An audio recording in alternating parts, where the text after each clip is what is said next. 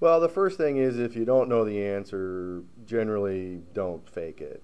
Um, you, you, you don't necessarily have to come out and say, well, I don't know the answer. Um, but if you watch enough politicians, you know, you could ask a politician what time of day it is, and somehow or another, you know, they're talking about something that has nothing to do with what time of day it is.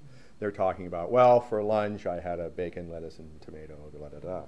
And so sometimes if you're comfortable, you know, with the question, you don't know the answer, you can take that sort of political tack to um, try to take the question and move it into an area that you feel a little bit more confident on. Um, I think that you know when you do know the answer, that's an easy question, and um, and that affords you the opportunity then to not only answer the question, but then maybe elaborate and reinforce what you've been trying to say. Mm-hmm.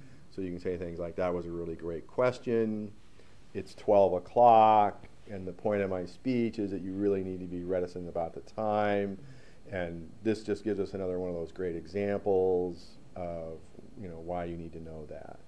Mm-hmm. Um, so then you can use that opportunity to reinforce what you're trying to communicate.